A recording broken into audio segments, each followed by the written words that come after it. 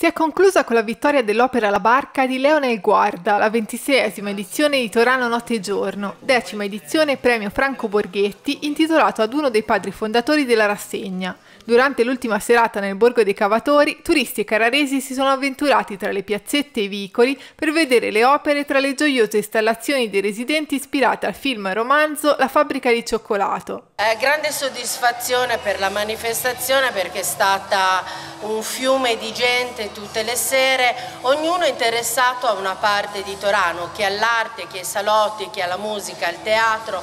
grandi coinvolgimento del, del paese, veramente una grande euforia, pronti già a partire per quella del 2025.